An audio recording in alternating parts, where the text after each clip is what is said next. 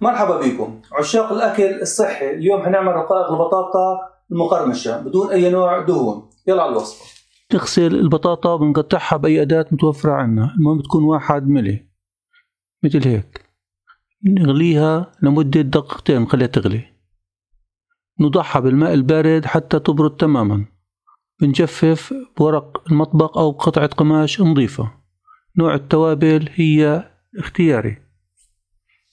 ممكن نوضع بصل بودرة فلفل أسمر بابريكا ملح هذا اختياري. تشغيل الفرن من الأعلى والأسفل 180 درجة مئوية.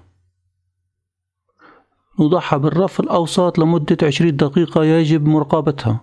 من الممكن أيضا صنع رقائق البطاطا بالميكرويف لمدة 10 دقائق أيضا يجب مراقبتها.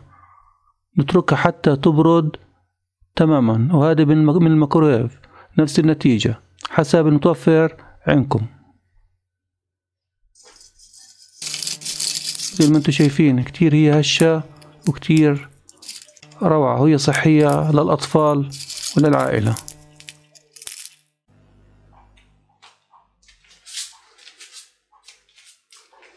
كتير هي روعة وصحية في أمان الله.